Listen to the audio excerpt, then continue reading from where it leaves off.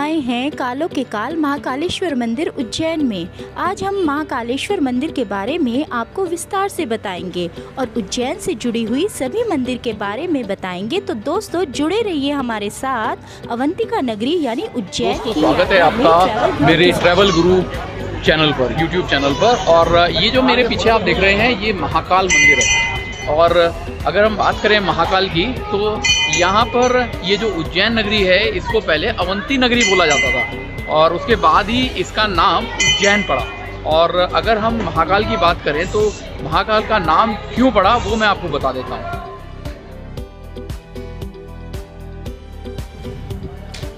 महाकाल के मंदिर के प्रांगण में आपको यहाँ प्रसिद्ध देवी देवताओं के दर्शन हो जाएँगे।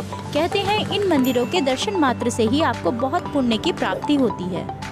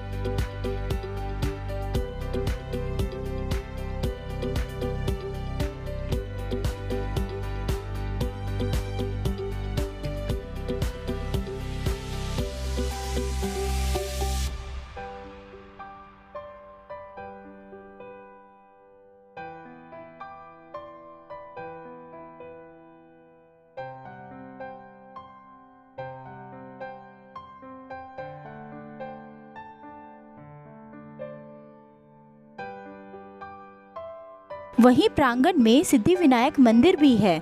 वहाँ पर आपको पंडित द्वारा रक्षा धागा बांधा जाता है। वैसे ये फ्री है, लेकिन आप अपनी श्रद्धा से कुछ भी दान कर सकते हैं।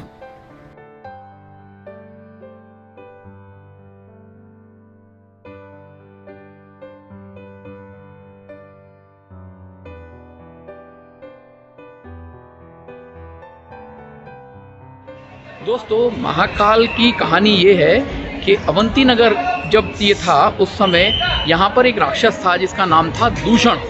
और दूषण राक्षस ने बहुत ही घोर यहाँ पर अन्याय किया हुआ था। बहुत लोगों को बड़ा ही परेशान किया हुआ था और उनको मारता था वो।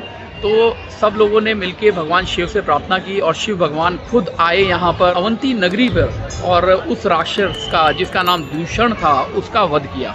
और उसके बाद यहाँ के जो निवासी थे, अवंती नगरी के निवासी थे, उन्होंने भगवान शिव की आराधना की और उनसे कहा कि आप यहाँ पर विराजमान हो जाएँ हमेशा के लिए।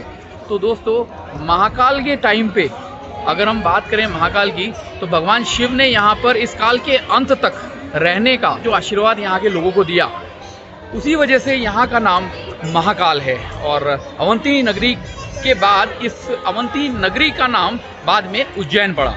ये देखिए ये सामने आप देख सकते हैं। ये देखिए। जय महाकाल। जय महाकाल। महाकाल के मंदिर के बाहर आपको इतने अद्भुत मंदिरों के दर्शन होंगे जिसकी कल्पना आपने कभी भी नहीं की होगी।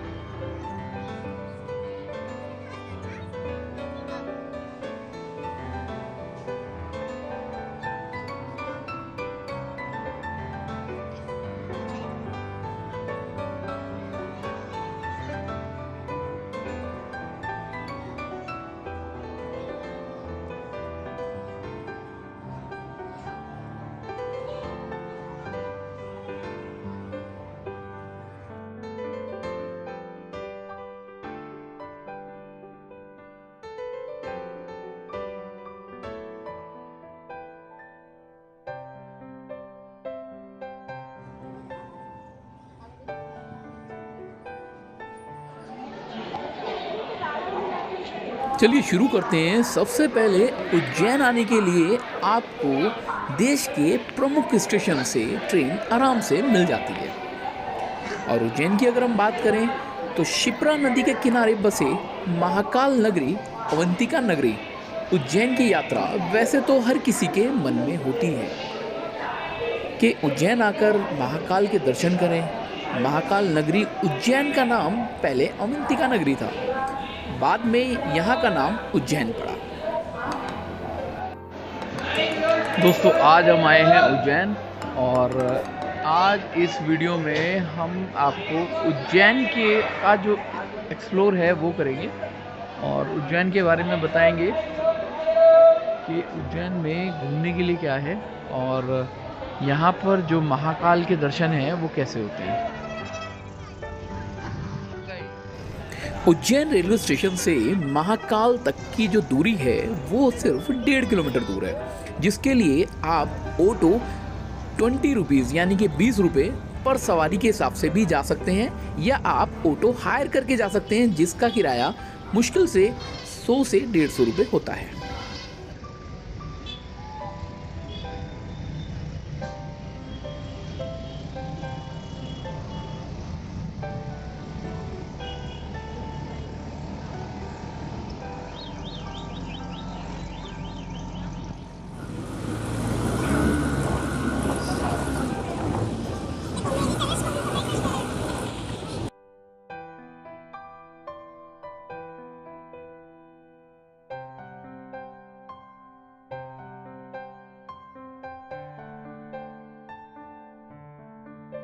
वैसे तो उज्जैन में आपको होटल हर लोकेशन पे मिल जाएँगे, लेकिन महाकाल मंदिर के बराबर में आपको होटल काफ़ी रिजनेबल रेट में मिल जाएँगे। अगर हम बात करें रेट्स की तो यहाँ पर छः सौ रुपये से लेके आपको ऊपर जिस रेट पे आपको चाहिए, जिस क्वालिटी का होटल चाहिए, वो ईजिली आपको मिल जाएगा। अगर आप ऑनलाइन भी होटल बुक करना चाहें तो आप ऑनलाइन भी कर सकते हैं ओयो से गो आई बीबो से मेक माई ट्रिप से, लेकिन अगर आप डायरेक्ट होटल पे आके यहाँ पर बार्गनिंग करते हैं तो यहाँ पर आपको वही होटल जो आपको ओयो या गो आई बीबो या मिक माई ट्रिप ढाई से तीन हज़ार रुपये का आपको ऑफ़र कर रहा है, वही आप जब डायरेक्ट आएँगे तो ये होटल आपको आराम से 1500 से 1800 रुपये की रेंज में मिल जाता है।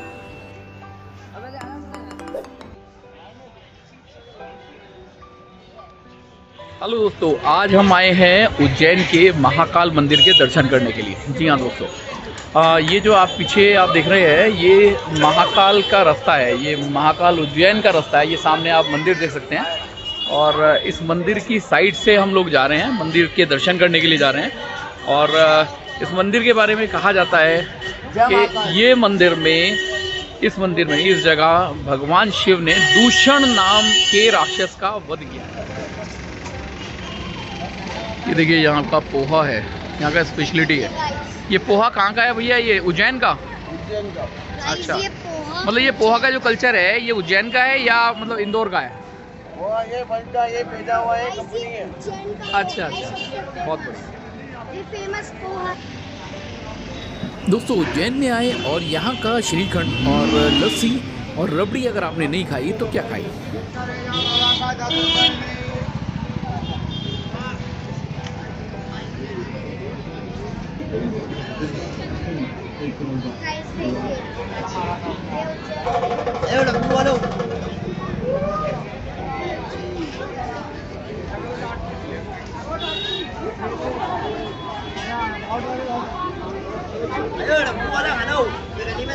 ये कितने का है भैया एक सौ दस रुपये का जय माता।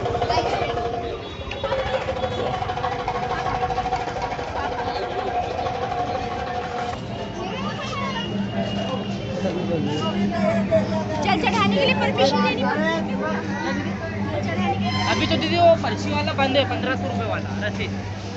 अभी ऐसा डायरेक्ट है। हाँ। इस प्रसाद में क्या क्या है? फूल है बेलपत्र गुलाब है कमल है। अच्छा फूल है बेलपत्र और गुलाब। ये कितने का है? ये फिफ्टी रुपीज़ का पाँच रुपए का फूल है पाँच का जने हुए चालीस रुपए का कमल है। हाय गाइस अच्छा। इन्फोमेक्स 14 नाइस टू मीट यू ये प्रसाद अच्छा। आधा चढ़ करके आधा आपको ये कितने का है? ये हंड्रेड का है वन फिफ्टी का। अच्छा ये हंड्रेड का है और ये वन तो फिफ्टी का क्या है ये? अच्छा इसमें गिरी भी और ये। क्या लेना चाहिए? दोस्तों सबसे अच्छी बात यह है कि महाकाल के दर्शन से पहले यहाँ पर आपको चंदन का लेप आपके मस्तक पर लगाने वाले यहाँ पर काफ़ी लोग मिल जाएँगे। और यहाँ पर इनका कोई रेट नहीं है। आप अपनी श्रद्धा के हिसाब से 10, 20, 50 रुपए इनको दे सकते हैं।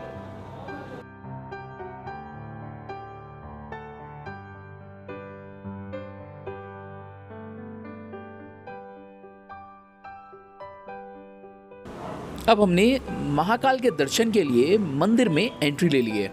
और यहाँ पर आप देख सकते हैं कि ये एंट्री गेट है। और अगर हम राइट साइड की बात करें तो यहाँ पर जो लोकल उज्जैन के लोग हैं, वो डायरेक्ट यहाँ से इस लाइन से आ सकते हैं। अगर आप बाहर से आ रहे हैं तो आपको इस रास्ते से जाना होगा। ये गेट नंबर एक है। अगर आप महाकालेश्वर के मंदिर में फ़ेमस भस्म आरती विशेष में शामिल होना चाहते हैं तो निशुल्क भारत माता मंदिर के पास भस्म आरती काउंटर है। यहाँ पर आप भस्म आरती का कूपन ले सकते हैं। और साथ में आप देखें कि यहाँ पर लड्डू भोग प्रसाद काउंटर है। जिसमें रेट भी मैं आपको बता देता हूँ कि 100 ग्राम प्रसाद के लिए पचास रुपये ढाई ग्राम प्रसाद के लिए सौ रुपये और आधी किलो प्रसाद के लिए दो सौ रुपये और एक किलो प्रसाद के लिए चार सौ रुपये का रेट है। भस्म आरती का निशुल्क फॉर्म लेने के लिए आपको सुबह चार बजे से लाइन में लगना होगा और यहाँ पर जो टाइमिंग है, वो आठ से ग्यारह ही ये फॉर्म मिलता है। जहाँ से आप डायरेक्ट भस्म आरती के लिए यहाँ से फॉर्म लेके भस्म में शामिल हो सकते हैं। अच्छा ये जो भस्मारती का फॉर्म मिल रहा है इसमें आपने जो है अभी क्या बताया यहाँ पे? भस्म आरती के लिए तो अब तो फॉर्म खत्म हो गए। अच्छा। अब कल सुबह आके फॉर्म अगर लेंगे हम आठ बजे से शुरू हो जाते हैं। फॉर्म लेने के बाद में परसों नंबर आए। अच्छा फॉर्म अगर आज अगर हम लेते हैं कल अगर लेते हैं तो परसों नंबर आएगा एक दिन बाद नंबर आएगा। हाँ और हमें तो कल की ट्रेन है हमें तो जाना है तो पॉसिबल ही नहीं है लेकिन रात को बारह बजे हम नॉर्मल जा सकते हैं। नॉर्मल जा सकते हैं बारह बजे। लेने के बाद फॉर्म लेने के बाद हमें वहाँ दो घंटे बैठने को मिल जाता है। बैठने को मिल जिसमें जाएगा भस्म आरती हमें देखने के लिए मिल जाती है। और अगर हम नॉर्मल जाते हैं ना तो वैसे भी हमें दर्शन होंगे हम दो हाँ। घंटे नहीं बैठ पाएँगे। ठीक। हम यहाँ पर ये भस्मारती जनरल पंजीकरण कक्ष पे आए तो हमें यहाँ पर ये दीदी मिली। दीदी बताएँगे कि यहाँ पर भस्मारती के लिए फॉर्म कैसे कैसे और किस टाइम मिलता है? यहाँ भस्म आरती का फॉर्म सुबह आठ से दस मिलता है। उस फॉर्म को लेने के लिए लोग आठ आठ घंटे लाइन में लगते हैं। आठ आठ घंटे लाइन में लगते हैं? अच्छा तो यानी कि सुबह तीन चार बजे से लाइन लगनी शुरू हो जाती है? लोग तो लाइन में रात लग जाते नहीं रात को ही लग जाते हैं। अच्छा और उस फॉर्म को फिल करने के बाद फिर जब नंबर आता है वो नंबर कब आता है? अगले दिन की परमिशन मिलती है अगले दिन यानी कि जो सुबह तीन बजे जो बसमारती होती है उस उसमें उसका नंबर आता है। अच्छा और बताएँ यहाँ के बारे में। यहाँ पे जैसे जल चढ़ने का जो जल अभिषेक तो बंद है अभी। जल अभिषेक बंद हो गया है हाँ। अच्छा ये कितने टाइम पहले से हो गया? ये इसको सावन से बंद है अच्छा जो लोग दूर से आते हैं सिर्फ़ इस मनोकामना के लिए कि जब यहाँ पर आएँगे तो महाकाल पे जलाभिषेक करेंगे तो वो मतलब अभी फ़िलहाल के लिए जलाभिषेक नहीं है? बिल्कुल बंद है। पूरा बंद हो चुका है है ना? अच्छा अच्छा। चलिए थैंक यू सो मच जय श्री महाकाल। जय श्री महाकाल हमें सुबह रात के चार बजे जब भी उज्जैन आए तो आपको ये बात हमेशा ध्यान रखनी है कि भस्म आरती का समय सुबह चार बजे से छः बजे तक का होता है।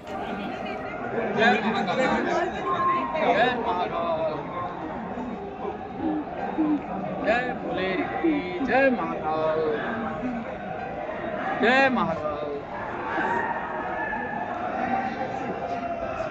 जय महाकाल।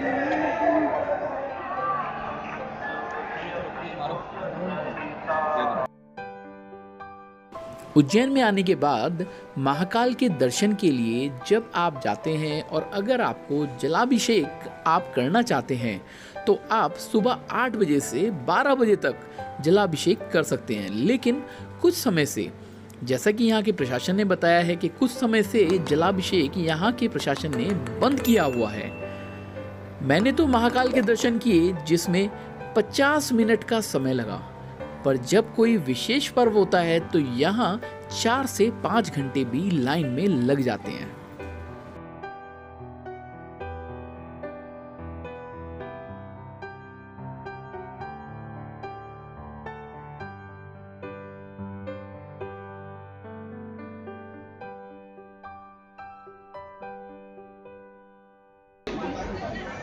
ये हमारी इन्फोमैक्स हैं। ये आजकल कुछ ज़्यादा ही जो है ना यूट्यूब पर दिखाई दे रहे हैं। ये पीछे क्या है? कैमरे के पीछे ये क्या मेट्रो कार्ड? है? मेट्रो अच्छा अच्छा अच्छा। आजकल आपके भी उस पर यूट्यूब पे काफ़ी अच्छे खासे सब्सक्राइबर हो रहे हैं भाई। आप देख सकते हैं पीछे जो कॉरिडोर एरिया है, ये देखिए, ये काफ़ी अच्छा कॉरिडोर एरिया है, जो महाकाल कॉरिडोर है, जो मतलब महाकाल मंदिर में जाने से पहले मंदिर के प्रांगण में ये कॉरिडोर तो ये कॉरिडोर का जो ये हम महाकाल मंदिर में जाते हैं तो यहाँ से आगे आप मोबाइल नहीं ले जा सकते, यानी कि ये मोबाइल आपको शूट ही नहीं कर सकते तो मंदिर में एंट्री करने से पहले आप यहाँ पर मोबाइल को जमा करा सकते हैं। जय श्री महाकाल। दोस्तों, ये जो मंदिर महाकाल का है, यहाँ पर आना बहुत ही सोच की बात होती है। और दोस्तों, जब आप महाकाल के दर्शन करने आते हैं, देखिए, मैं तो जब यहाँ पर महाकाल के दर्शन करने आया तो यहाँ पर महाकाल के दर्शन मात्र से ही आत्मा तृप्त हो गई। दोस्तों, महाकाल के मंदिर पे आके, दूर से ही अगर हम महाकाल के दर्शन कर लेते हैं, आत्मा तृप्त हो जाती है। और मैं तो यही चाहूँगा कि आप अगर महाकाल के दर्शन करने आए तो यहाँ पर ज़रूर कुछ टाइम महाकाल के पास ज़रूर जाए आप यकीन मानेंगे, आपकी आत्मा तृप्त हो जाएगी। तो बड़ा गुड लक मिलेगा। बोलो, जय महाकाल। यहाँ पर आप देख सकते हैं, महाकाल के लाइव दर्शन में चलते हैं, कि सर एलईडी पे ये एग्जिट द्वार है। जब आप महाकाल के दर्शन करके आते हैं तो आप यहाँ से निकलते हैं। और ये इस तरह की से सीनियर सिटीजन के लिए यहाँ पर ये इस तरह की वैन बनाई गई है। और, ये देखिएगा।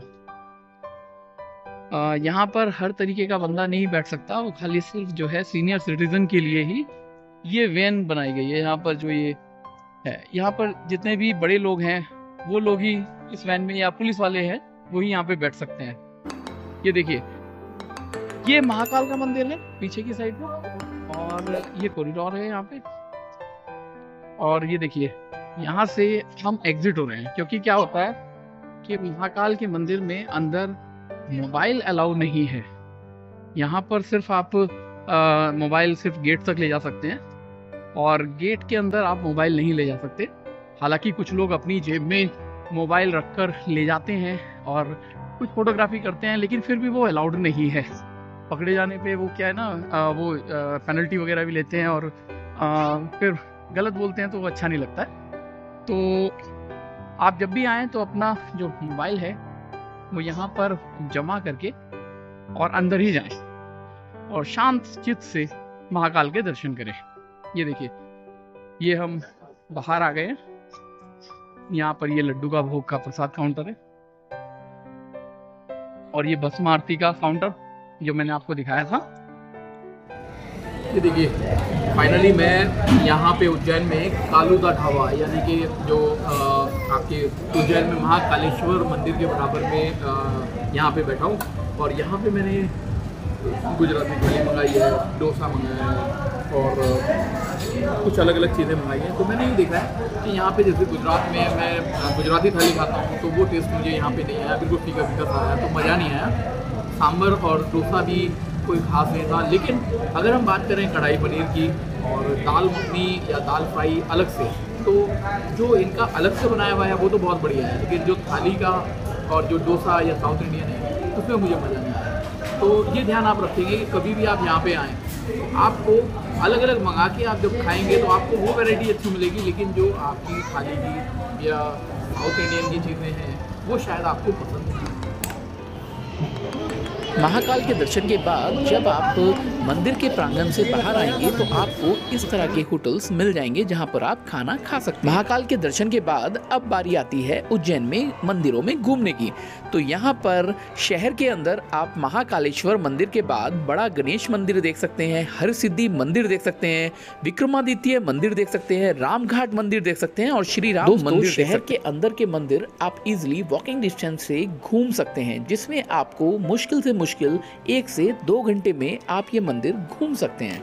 लेकिन अगर शहर के बाहर के मंदिरों की बात करें जैसे सादीपनी आश्रम है मंगलनाथ मंदिर है सिद्धवट है काल भैरव है गढ़ कालिका है भरतरी गुफा है इन सब के लिए आपको ऑटो करना होगा और ऑटो आपसे चार सौ रुपये से लेके पाँच सौ रुपये तक का चार्ज करेगा जो आपको तीन से चार घंटे में ये सभी शहर के बाहर के मंदिर यहाँ उज्जैन आने के बाद आपको इस चौक पे आना है। ये जो आपका चौराहा है, यहाँ से आप, स्टेशन से आएँगे और यहाँ सीधे महाकाल के मंदिर और तीन चार मंदिर, रामघाट, गणेश मंदिर, विक्रमादित्य मंदिर और हर सिद्धि मंदिर, इसके लिए हमें सीधे ही जाना है और ये पैदल से जाना है। ठीक है? ये देखिए। इस रोड से आके आपको राइट आना है और यहाँ से आप हर सिद्धि मंदिर और ये आपका बड़ा गणेश मंदिर। और जितने भी बाकी के जो है वो आप यहाँ से जा सकते हैं। उज्जैन में सुबह का नाश्ता यहाँ का फ़ेमस पोहा रबड़ी जलेबी खस्ता रसगुल्ला आदि विशेष रूप से ये क्या चीज़ है भैया? मिल जाते हैं। लस्सी। रबड़ी अच्छा। लस्सी है भैया। पापा लस्सी है। अच्छा। निकू ये क्या चीज़ है भैया? साबुदाना खिचड़ी। अच्छा। हम तो पी रहे हैं कुल्लड़ वाली चाय। और वो भी उज्जैन में महाकालेश्वर के मंदिर के बराबर है और मिधान जी जो है मिधान जी क्या करें इन्फोमेक्स अच्छा लस्सी जो है। ब्लॉगिंग अच्छा ब्लॉगिंग भी कर रहे हैं। आपने ब्लॉगिंग कब से शुरू कर दी? बहुत साल अच्छा किस नाम से है आपका चैनल इन्फॉर्मेक्स फोर्टीन पे डालता हूँ। इन्फोमेक्स फोर्टीन सोच रहा हूँ अलग चैनल बना लूँ ब्लॉगिंग या ट्रैवल का? अच्छा। नहीं ट्रैवल बनाओगे या ब्लॉगिंग बनाओगे? ट्रैवल का बनाऊँगा। हम्म। अच्छा ये बताओ ये ये बताओ ये सारे लोग ये पूछते हैं कि आप वीडियो तो बना लेते हो एडिटिंग कैसे करते हो?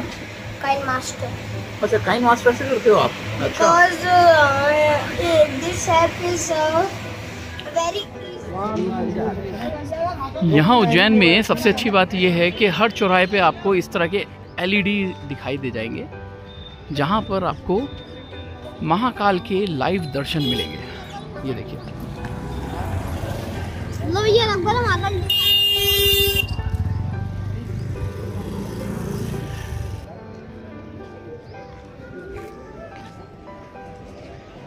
ये गेट नंबर चार है।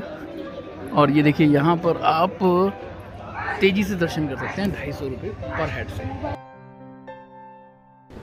अगर आप जल्दी दर्शन करना चाहते हैं तो बड़ा गणेश के मंदिर के सामने वीआईपी रसीद यानी कि ढाई सौ रुपये की रसीद लेकर जल्दी दर्शन कर सकते हैं। और सबसे मज़े की बात यह है कि इसका शुल्क बहुत नॉमिनल है जो सिर्फ़ ढाई सौ रुपये। है थैंक यू आपकी फ़ोटो ले रहा हूँ।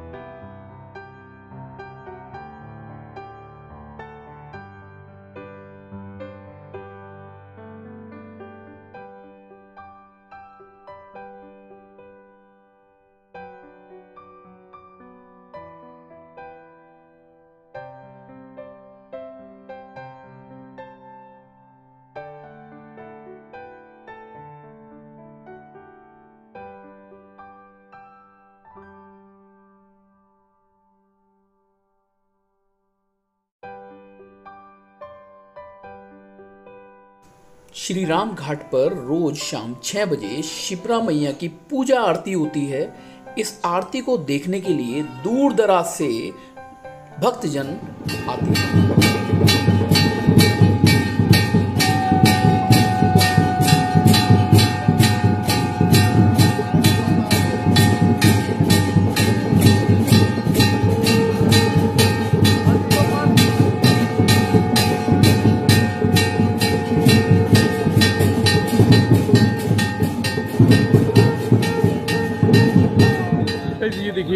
ये रामघाट है। और यहाँ पर आपको इस तरह से स्टॉल मिल जाएँगे। और यहाँ पर आप खाना पीना भी, थोड़ा स्ट्रीट फ़ूड भी खा सकते हैं। और साथ में आप ये नौका विहार भी कर सकते हैं।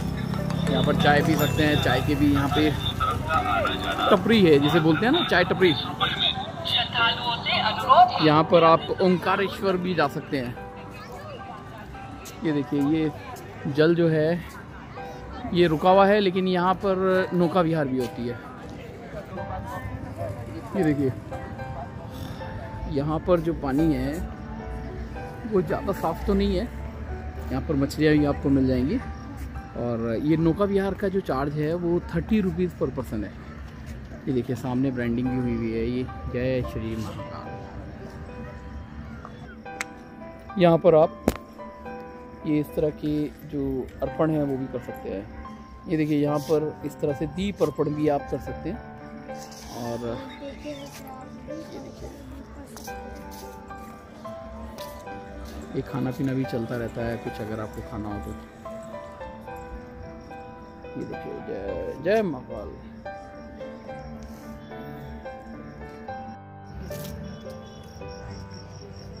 यहाँ पर बोट का किराया तीस रुपये है ना? और टाइमिंग क्या रहता है जी? एक राउंड खाली। अच्छा नहीं टाइमिंग क्या रहता है मतलब? अच्छा सुबह आठ बजे से? आठ से नौ साढ़े नौ। रात के नौ बजे तक? नौ तो अभी भी खुली हुई है? अच्छा अच्छा।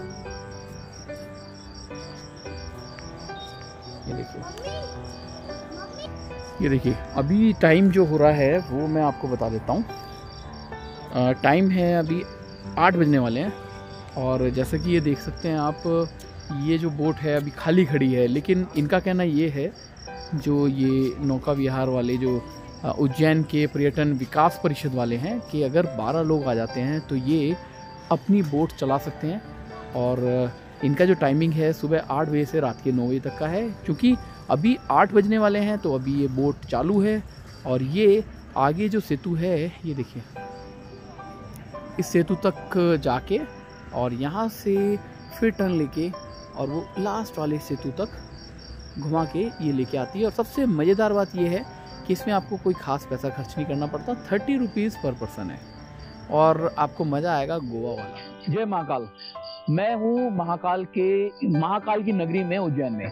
और उज्जैन में महाकाल की जो नगरी है, यहाँ का इतिहास मैं आपको बताऊँ, यहाँ की कहानी मैं बताऊँ। उज्जैन महाकाल के नाम से क्यों जाना जाता है? कारण ये है कि एक टाइम में एक राक्षस था दूषित, दूषण के नाम से। दूषण राक्षस था, उस राक्षस का वध करने के लिए। असल में क्या था, वो दूषण जो राक्षस था, उसने यहाँ पर बहुत ज़्यादा तबाही मचाई हुई थी। तो भगवान शिव यहाँ पर खुद एक शिवलिंग के रूप में यहाँ पर प्रकट हुए थे और उन्होंने, उनका जो मेन एम था वो था उस राक्षस का वध करना। तो एक टाइम में उन्होंने उस राक्षस का वध किया। और उस राक्षस का वध करने के बाद, जब यहाँ पर इस उज्जैन का नाम पहले था अवंती नगर, अवंती नगरी। तो अवंती नगरी के जो नगरवासी थे, वो लोगों, लोग ने भगवान शिव से आग्रह किया कि वो यहाँ पर हमेशा के लिए बस जाए। तो इस आग्रह को भगवान शिव ने पूरी तरह से स्वीकार किया और आशीर्वाद दिया कि मैं इस महाकाल के रूप में यानी कि महाकाल का मतलब ये है कि इस काल के अंत तक भगवान शिव ने इन वास यहाँ के नगर वासियों को वादा किया उसका अ, मतलब उनको आश्वासन दिया कि मैं इस काल के अंत तक इस यहाँ पर शिवलिंग के रूप में विराजमान रहूँगा। तो यहाँ का जो नाम पड़ा वो महाकाल वो इसी कहानी के ऊपर पड़ा है और यहाँ पर आके बहुत ही मज़ा आता है। मैं इस समय बैठा हूँ राम घाट पे। राम घाट पे जो स्टीमर है, ये भी बड़ा क्रूज वाला जो एक्सपीरियंस है, वो आ रहा है। ये देखिए, ये जो सामने अगर वैसे देखते हैं, हालाँकि यहाँ पे वो समुद्र वाला तो नहीं लगता, लेकिन स्टीमर देख के और ये क्रूज देख के, वो जो मज़ा आता है ना क्रूज वाला, वो भी मतलब ऐसा लग रहा है, जैसे छोटा सा क्रूज होता है ना, गोवा में भी। तो यहाँ पे जो टूरिज़्म है टूरिज़्म भी अगर देखा जाए तो काफ़ी अच्छा है।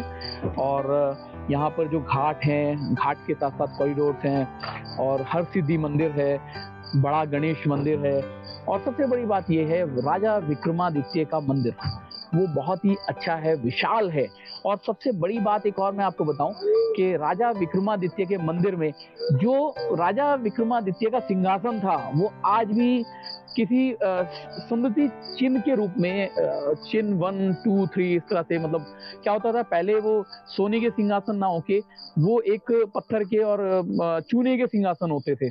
तो उसके जो चिन्ह हैं, वो आज भी उज्जैन में, यानी कि मैं रामघाट पर हूँ, यहाँ से मुश्किल से 300-400 मीटर दूर राजा विक्रमादित्य का मंदिर है।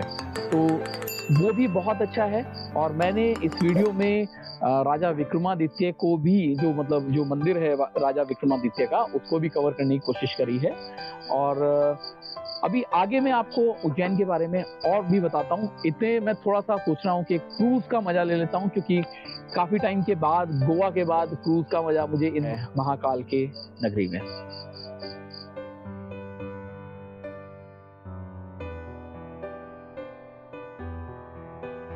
दोस्तों, महाकालेश्वर के दर्शन से पहले लोग शिप्रा नदी में स्नान करते हैं। उसी के बाद महाकालेश्वर के दर्शन करते हैं। और अगर राम घाट की बात करें तो जैन में यात्री जब आते हैं तो श्री राम घाट पर ज़रूर आते हैं, क्योंकि यहाँ शिप्रा नदी बहती है यहाँ पर आप सर्प दोष पूजा और पवित्र स्नान शिप्रा नदी में कर सकते हैं। श्री राम घाट पर आप बोटिंग भी कर सकते हैं। शिप्रा नदी पर आप बोटिंग सिर्फ़ तीस रुपये प्रति सवारी में बोटिंग का मज़ा ले सकते हैं। दोस्तों, महाकाल के दर्शनों के बाद मंदिर परिसर में महाकाल कॉरिडोर बड़ा ही गजब का बनाया है। जितना दिन में नज़र आता है, उससे कहीं ज़्यादा सुंदर ये रात को दिखाई देता है। रात को छह बजे के बाद यहाँ की लाइटिंग शुरू हो जाती है और जो गजब का नज़ारा आपको रात के टाइम में महाकाल कॉरिडोर का मिलेगा, वो आपको दिन में नहीं मिलेगा, वो आपको रात में ही मिलेगा। महाकाल कॉरिडोर की जो वीडियो है, वो मैंने अलग से ट्रैवल गुरु चैनल पर डाली है। आप उसको ईजिली देख सकते हैं।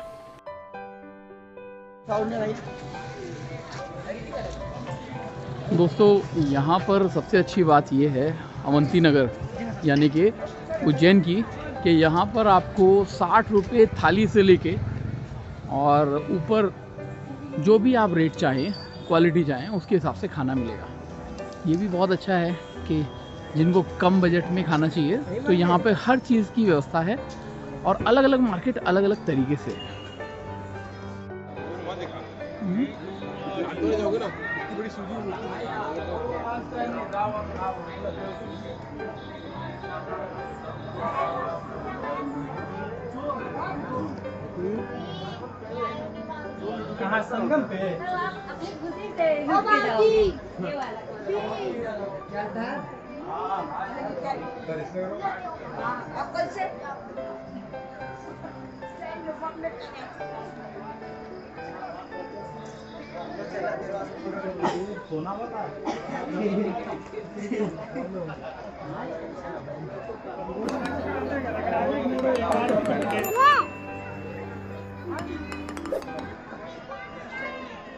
पागल कौन है? वो सिक्योरिटी में।